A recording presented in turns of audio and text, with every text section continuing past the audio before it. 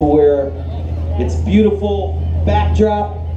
You're like, well, I'm looking right into the sun. Well, I don't know where you would like to look, but I want to look right into the sun also. Amen.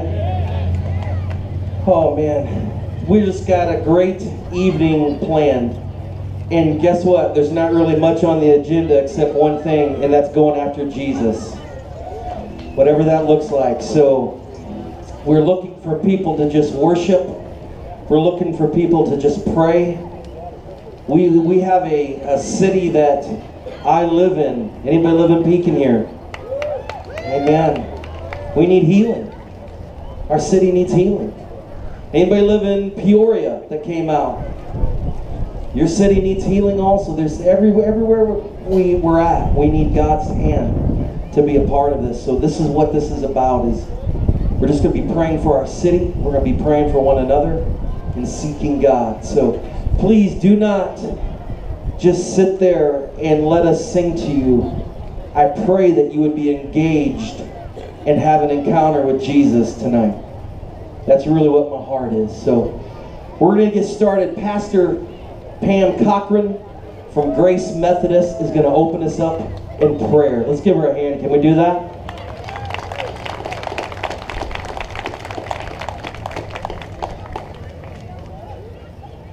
What an honor and joy it is to be with you this evening. How do you like God's sanctuary? Isn't it wonderful? Uh, I'm going to invite you to bow your heart, head and heart with me as we go before the throne of grace. Let us pray. Oh, gracious Heavenly Father, God Almighty, God of Abraham, Isaac, and Jacob, the living God, the one true God, the only one who saves our souls. We come before you, Lord, in the blood of Jesus. We come, Lord, seeking your face. We come, Lord, bringing all of our brokenness to you this evening, knowing that when Jesus passes by and says, Live, we have life in abundance. Oh Lord, help us to, to rest in the assurance that you are good all the time. Help us to remember that every experience throughout every day is designed for our good. That you are desiring to draw us ever closer to you, that we may have a better understanding of who you are. And because of who you are, all of the goodness that you do. Help us, Lord, to trust you more. Help us to fall into your arms of grace and hear you say, All is well, my child. Lord, we, we thank you that we are born for such a time as this, that we may, that we may be your expression of love in this place. We pray, Lord, that as our hearts look up to you, as our voices sing your praise this evening, that you would be pleased. Lord, that as your children of faith come together from many denominations, all in your spirit, be pleased. And we pray, Lord, that our community would tell a new story, a glory story, an everlasting story, that, that we would continue to press on in your hope, in your glory to honor you, Lord, for you are worthy. We pray these things in your magnificent name, Jesus. Amen. And God's people say, Amen. You're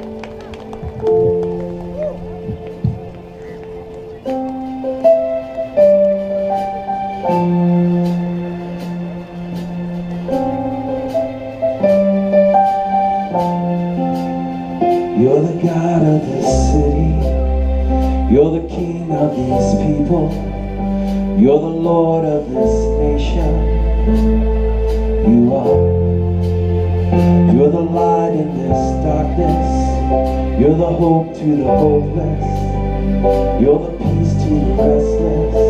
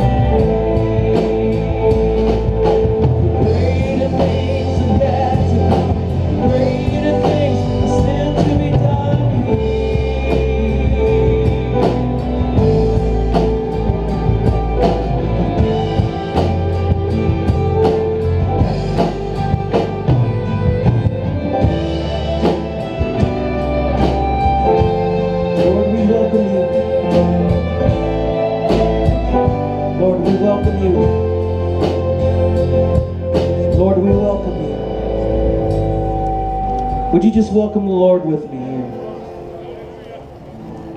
Would you just welcome the Lord here? Jesus, you are welcome here. Jesus, we thank you. Jesus, we trust you.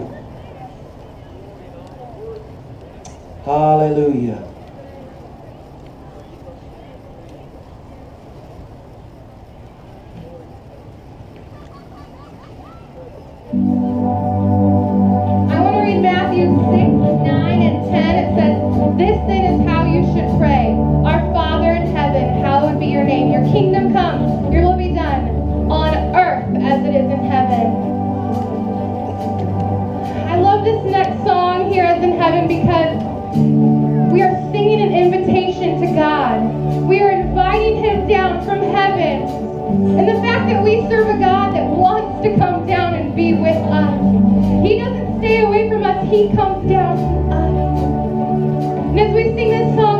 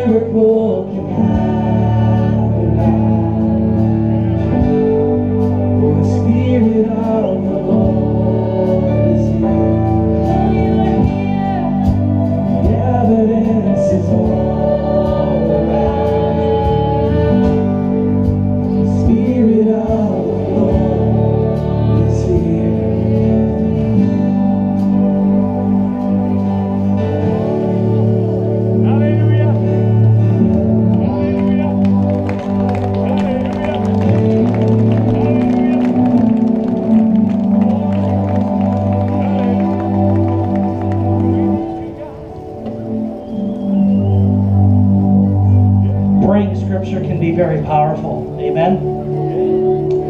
And uh, all week long, I've been just reading through the prayers in Scripture, asking God for the right one to, to pray, to read tonight. So I just want to read from Nehemiah. Uh, Nehemiah prayed a prayer after recognizing the condition, the serious condition of, of Jerusalem as well as his people. So I think this is fitting tonight. So I'm reading from the message, and I have changed a few words uh, to meet our need here tonight. Let's pray. God of heaven, the great and awesome God, loyal to his covenant and faithful to those who love him and obey his commandments. Lord, see us here tonight. Listen to our cry. Pay attention to our prayers, our worship, as it comes from the hearts of servants. As we begin this prayer vigil night and day, this intercession for our city, God, and for our nation. We confess our sins, the sins of our country. We include ourselves, our ancestors, amongst those who have sinned against you. For we know that the beginning of revival is indeed repentance. We've treated you like dirt at times. We haven't done what you've told us, haven't followed your commands, haven't respected your decisions. All the same, remember the warning you posted to your servant Moses. God, you said if if we betrayed you, that you would scatter to the four winds. But if we come back to you and do what you tell us to do, you said that rather we would not be scattered,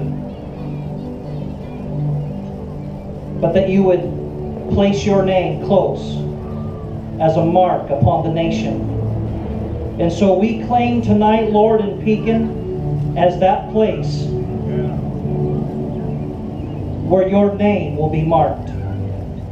Here we are, your servants, your people, whom you so powerfully and impressively redeemed. Father, listen to us tonight. Listen to our prayers. Hear our worship. All of your servants who delight in honoring you, and make us successful today so that your kingdom might prosper. Your will be done on earth as, as it is in heaven. Amen. May God add blessing to the reading of his word tonight.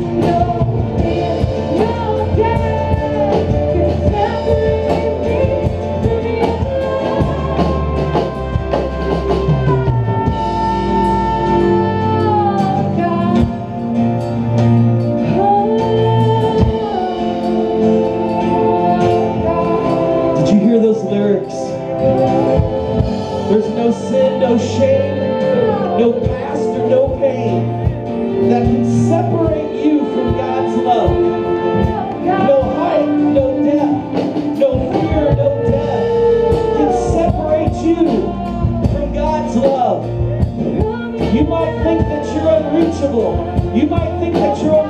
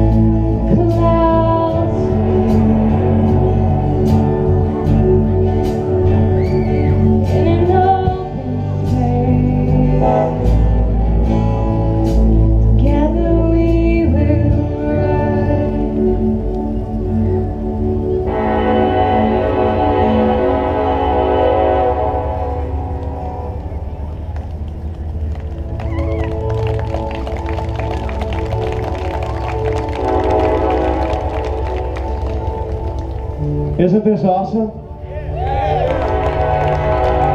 You know, it doesn't matter what name is on the front of the building, what background we're from, what denomination we're part of.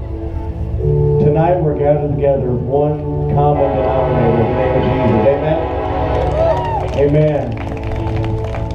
You know, as Pastor Darren was sharing about Nehemiah, I couldn't help but think about the story of Jonah and how God sent Jonah to Nineveh to deliver a message of doom and gloom.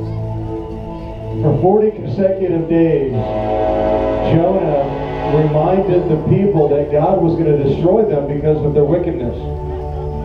But on day 41, ever say but?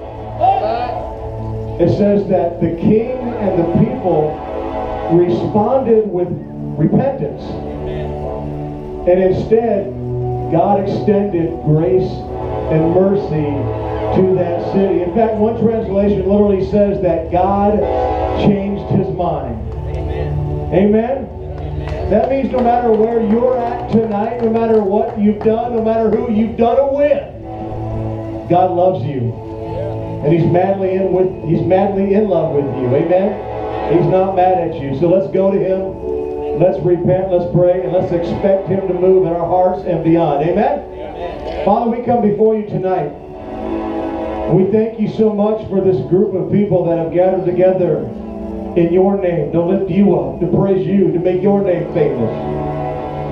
Now we're reminded of your word in 2 Chronicles chapter 7 and verse 14. It says, If my people who are called by my name will humble themselves and pray and seek my face and turn from their wicked ways, then why hear from heaven, forgive their sin, and heal their land.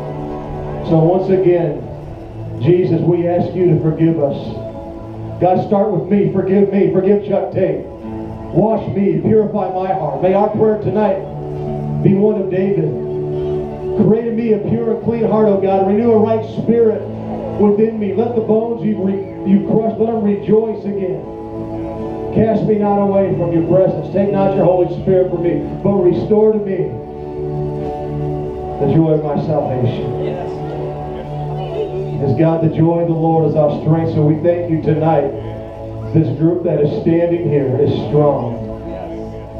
And your word says the people who know their God will not only be strong, but will do great exploits. So we ask you to do great things in this city and beyond. Start with us. Start with this group. God, may we love others. May we love our other brothers and sisters in Christ the way you love them. Jesus, you said in John that the world would know we are your true disciples by how we love each other. May we get along. Unify us tonight. Strengthen us so we can be effective when we leave this place. May we love the entire world like you do. And we thank you in advance for what you're going to do in us and through us. In Jesus' name. And everybody said, Amen.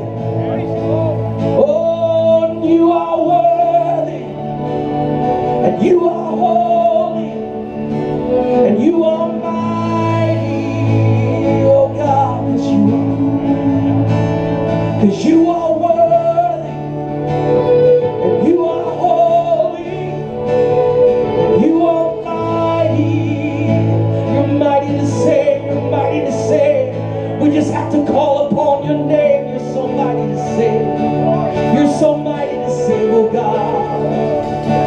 Let there be a rejoicing, let there be a refreshing. You are so mighty, you are so mighty. Let there be a rejoicing and a refreshing amongst this nation, amongst this city, oh God.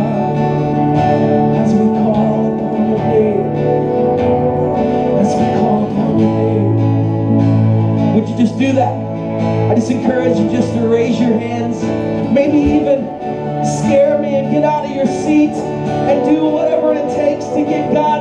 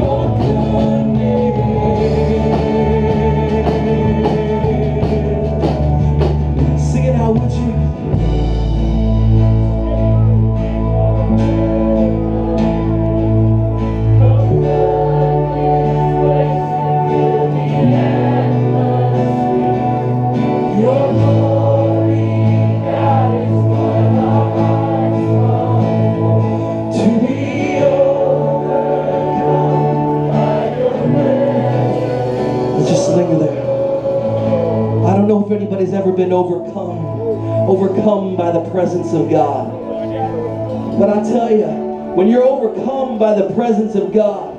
Whatever sin that you've been hiding deep, deep, deep down inside of you has got to come shooting out because when you have an encounter with Jesus Christ, you are not the same.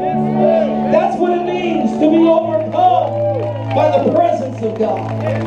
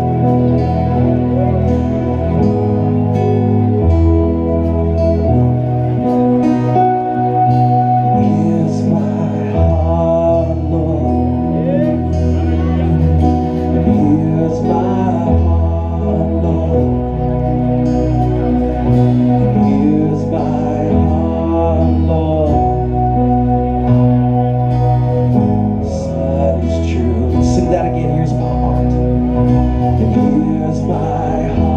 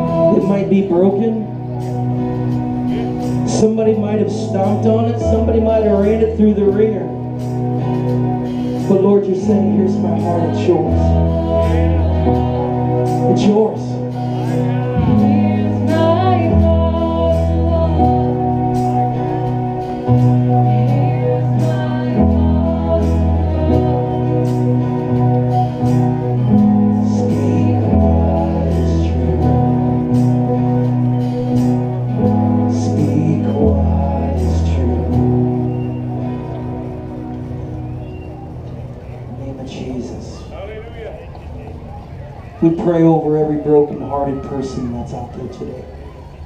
In the name of Jesus. And we speak, God, that you would mend, restore, and heal. Mend, restore, and heal. In Jesus' name.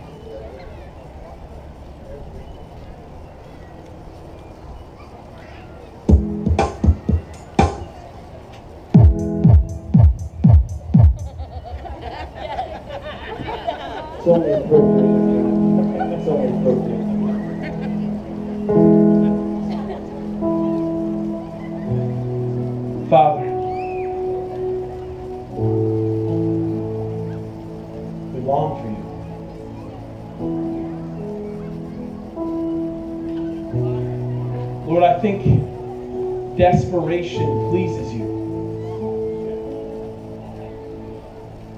When we come to that place in our lives, Lord, where we no longer cling to anything that is ours. We no longer try to will ourselves into right living. We no longer try to hang our hats on our righteousness. We no longer pat ourselves on our backs for our theology. absolute and utter desperation. As a people hungry for what only you can bring. Lord, we need you to hijack our hearts. For too long, Lord, your people, we've been captivated and captured by all the wrong things. And somehow, some way, we've we've allowed the things of this world to draw us off course and draw our attention away from you. And God, we need you to move in and hijack our hearts. Lord, you have called your people to a purpose. A purpose of being good news ambassadors. People through whom the good news message of the resurrection of Jesus and the new life found in Him is to be proclaimed. But Lord, how can we do that if we remain bound up? God, your people, they need to be set free from captivity. Lord, we need you to consume every thought that comes to our minds and take them captive in Christ Jesus. We need you to dismantle the strongholds of addiction and compulsion and shame and anger and hatred and prejudice. We need you to dismantle those chains and those strongholds. We need to be set free, God. Because you're calling us to a. A race marked out for us, but we've got too much weight on our backs to run that well. Oh God, so set us free right now. This community that we find ourselves, it's in need of good news ambassadors. People willing to proclaim the love and mercy and grace and forgiveness of our Lord Jesus Christ. Oh God, set us free that we can be those good news ambassadors. To go to each person that we come across daily, to look them in the eyes and say, You matter. You matter to the heart of God because He knit you together in your mother's womb for a purpose. And He loves you more than anything you can imagine. God, give us a burning passion and a single focus. That we would chase after you with everything that is within us. That nothing would get in the way. That nothing would draw us off course. That we would go neither to the right nor the left. But we would stay on track moment by moment and day by day, desperate and hungry for your spirit right now. Oh God, pour out your favor right now. Your people need you. We long for you. We're desperate for you. Oh God, I'm reminded of that passage that says the army was there the whole time. They just happened to look like bones. That is until you spoke, God. And then the army that didn't realize they were an army because they thought they were just bones begin to rumble a little bit. And God, what this what this city needs is for your church to do a little rumbling. For you to begin to remind us that though we are an army, even when we don't realize we're an army, that when you begin to speak into our lives, we begin to rumble a little bit. And we begin to arise and stand up into the places that you've called us. Oh God, would you breathe your spirit upon us so that we can stand as a mighty and bold army of grace and love in this world? Oh God, would you begin to move and remind us, Lord God, of, of your purpose for your people. Oh God, that we could live in a community where Jesus gets to have his way. Where the kingdom comes on earth as it is in heaven. Where we're no longer divided by our own agendas and wills, but we are united in the per- person and the purpose and the passion our Lord Jesus Christ. Consume us, oh God. And hijack our hearts. Don't wait for us to turn to you, Lord God. You come down and hijack us and give us a vision of this boundless, matchless, limitless love that knows no end.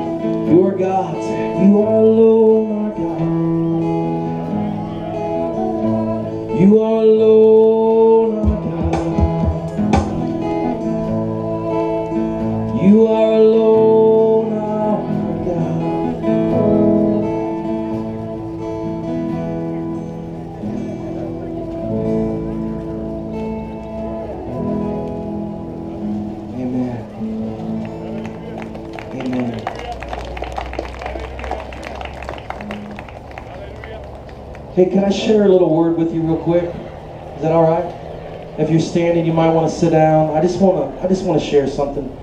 You know, I want to thank you all for coming out. Again, we got water over here if you're thirsty. Um, but I just want to I want to address two things that's going on. You know, God gave me a, a vision to make this happen down here in, in Pekin. Um, I live here. I want to see God move in this town. I want to see God move in this city. But over the years of, of living for Him and walking with Him, I've seen a change in the tide. I've seen a change in the way that, that people look at others. I've seen a way that people respond to others. I've seen a way, a difference and a change of what God would have in store for us to speak life into others. And I see it because it happened in me. We've got so much turmoil. We, we, we watch the news and we've got so much stuff happening. When we've, we've got this thing that just happened a, a, a, while, a, a while back ago, short time ago, I'm sorry, in Orlando where, where there was a bar that was shot up and it, and it was full of homosexual people and there's people that are saying they're thankful that it happened. And God's saying, I'm not thankful that it happened. God's saying, I wish somebody would have went to them and told them that I loved them. God's saying, I, I wish somebody would have would have reached out to them. I wish somebody wouldn't have been scared by their tattoos or by their long hair or by their colored hair or, or by their cross-dressing ways. I just wish somebody would have told them that I loved them.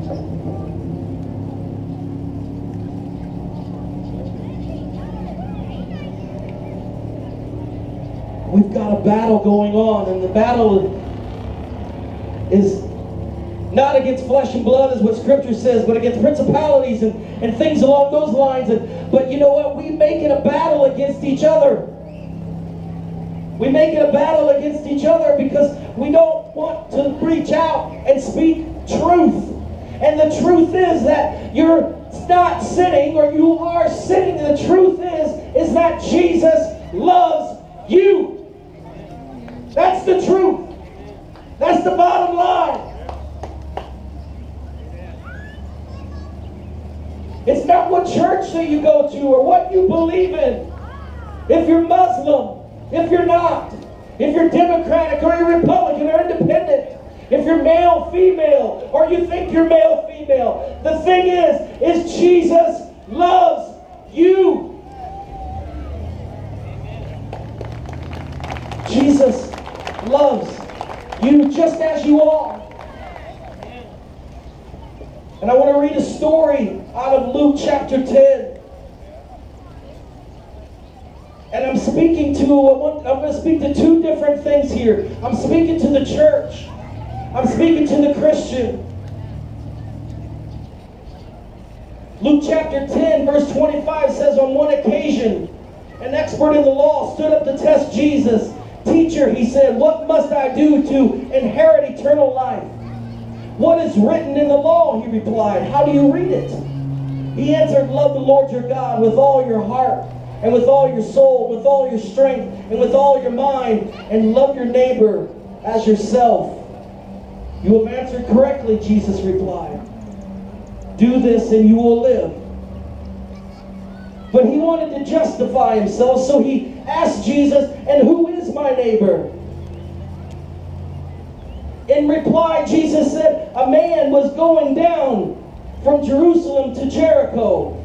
He fell into the hands of robbers. They stripped him of his clothes, beat him, and went away, leaving him half dead. A priest happened to be going down the same road, and when he saw the man, he passed by on the other side. Somebody say the other side. So to a Levite, when he came to the place and saw him, pass by on the other side. Somebody say on the other side. But a Samaritan, as he traveled, came where the man was. And when he saw him, he took pity on him. He went to him and bandaged his wounds, pouring on oil and wine. Then he put the man on his own donkey, took him in to an inn, and took care of him. The next day he took out two silver coins and gave them to the innkeeper. Look after him, he said, and when I return, I will reimburse you for any extra expenses you may have. Which of these three do you think was a neighbor to the man who fell into the hands of the robbers? The expert in the law replied, The one who had mercy on him. Jesus told him, Go and do likewise. See, in order to follow Jesus, church, in order, if you want your churches filled, you want to see people getting saved, you want to see lives change, we want to see Pekin change, we want to see the homeless not be homeless, we want to see the Salvation Army not needed because the church has rose up and done something. You're going to have to get on the other side of the road. You're going to have to get bloody. And it's going to cost you a little money. It's going to cost you a little investment. It's going to cost you a little time. Because that, that, that is our neighbor.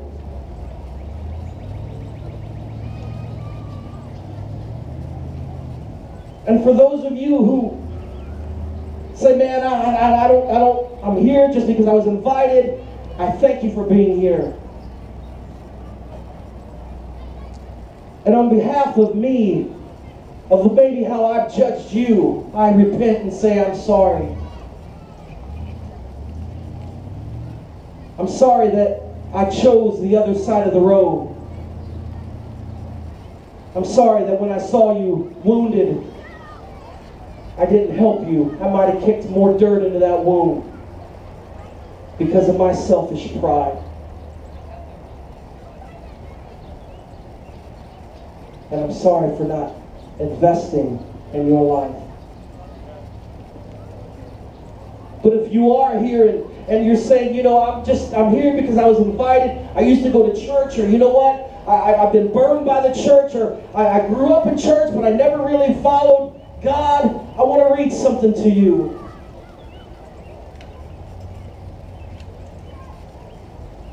Luke chapter 15 says, Jesus continued, There was a man who had two sons. The younger one said to his father, Give me my share of the estate. So he divided his property between them. Not long after that, the younger son got together all that he had and went off in a distant country. And there he squandered his wealth in wild living. After he had spent everything there was a severe famine in the whole country, and he began to be in need. So he went and hired himself out to a citizen of that country, who sent him into the fields to feed pigs. He longed to fill his stomachs with the pods that the pigs were eating, but no one gave him anything. When he came to his senses, he said, How many of my father's hired men have food to spare? And here I am starving to death. I will set out and go back to my father and say to him, Father, I have sinned against heaven and against you, and I am no longer worthy to be called your son. Make me like one of your hired men. So he got up and went to his father. But while he was still a long ways away off, father's song was filled with compassion for him. He ran to his son, threw his arms around him, and kissed him. The son said to him, Father, I have sinned against you. I've sinned against heaven. I am no longer worthy to be called your son. But the father said to the servants, Quick, bring the best robe and put it on him. Put a ring on his finger and his sandals on his feet. Bring the fattened calf and kill it. Let's have a feast and celebrate. For this son of mine was dead and is alive again. He was lost and is found. So they began to celebrate. If you are not living for Jesus, I need to tell you that He loves you just as you are. You see, the big thing about this prodigal son is that people want to say that, that there was a repentant heart of the man and he came back to his father. But I read the scripture as the father seeing the son afar off, and he didn't know if he was full of drugs. He didn't know if he was drunk. He didn't know if he was high. He didn't know if he was transgender. He didn't know how, what he had been messing in. He saw him, and he went running to him without knowing any of that, just because he was pleased that he saw his son with filled with love and compassion. Oh, church. Oh, church, we need that love. We need that love. If you're missing people out of your if you're missing people out of your church and you haven't seen them in a while, be hunting them down saying, I miss you. I love you. If somebody comes in and you ain't never seen them before and don't give them the old stink eye, go up and say, Hey, I love you. I'm glad you're here. Jesus loves you. Because that's truth. That's truth. And we need truth in our life.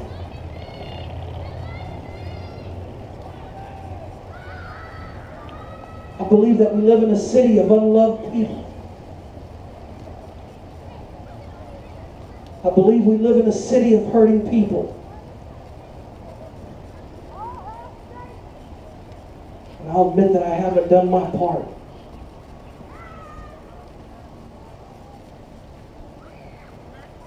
Did anyone else admit that they haven't done their part?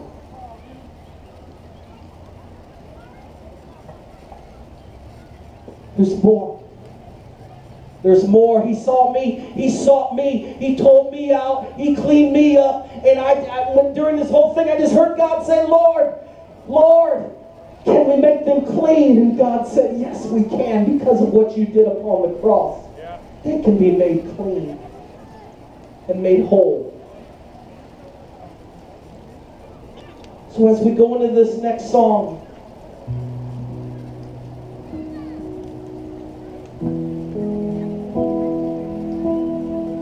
We've been praying to a God who loves you. We've been praying to a God who's who, who wants you so bad.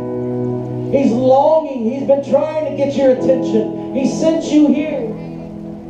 He's put people in your place.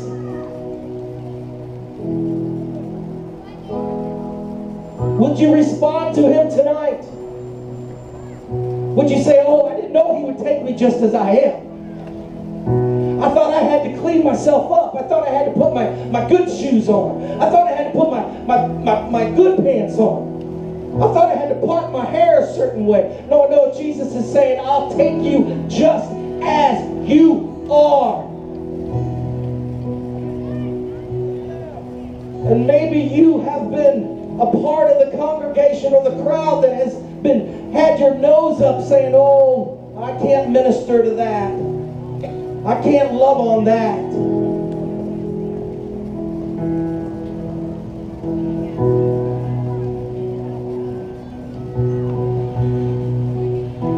to see people healed.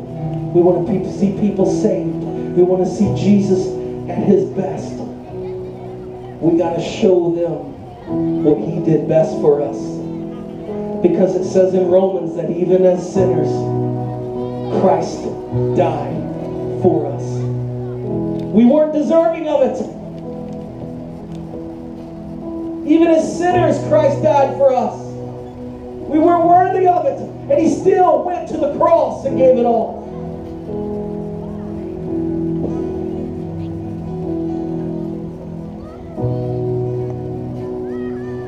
I've asked some friends to come and pray. Help me pray, pastors, if that's you. Ask for you to come. And if that's you tonight, if you just feel like, you know what? I need a change in my life. I need a change in the way that I see people. I need a change in the way that I do things and respond to things. Would you come forward? If you're in need of a miracle tonight, if, if you're hurting your back or your, your knees or your neck or something along those lines, maybe you, maybe you can't hear in something and you're in need of a miracle, would you come forward? Maybe you respond to the call and say, Jesus, I accept your love and mercy in my life, maybe for the first time or the 21st time.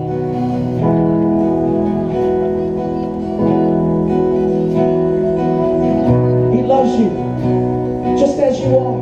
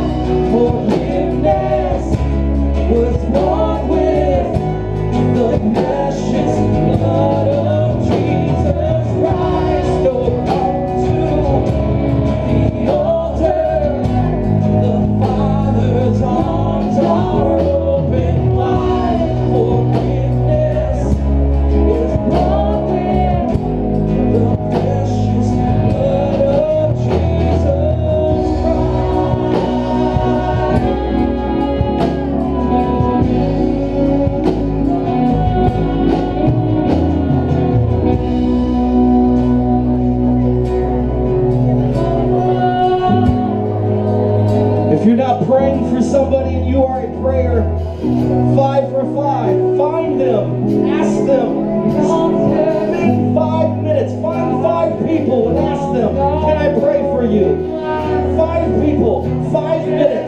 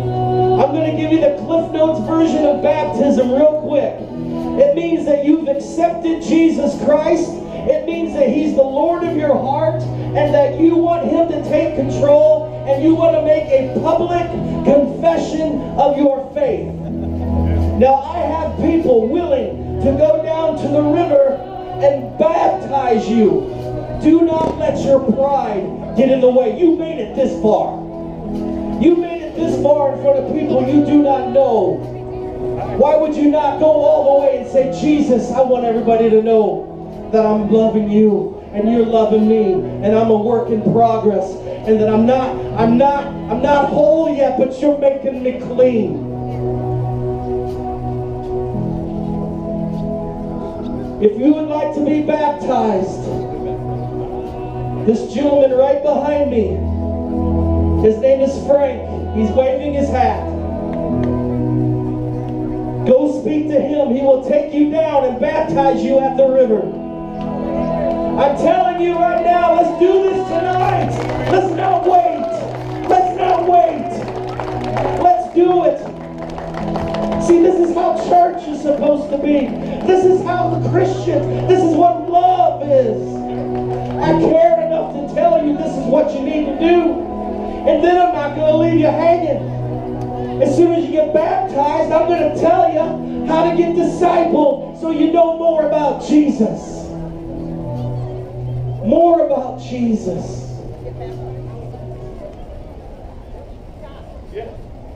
Hallelujah.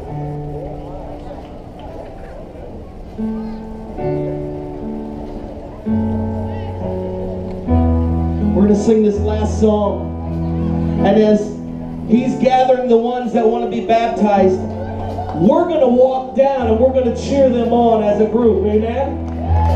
Amen? any pastors that are willing to help Frank baptize. We're going to do this before the sun goes down. What a beautiful setting it's going to be.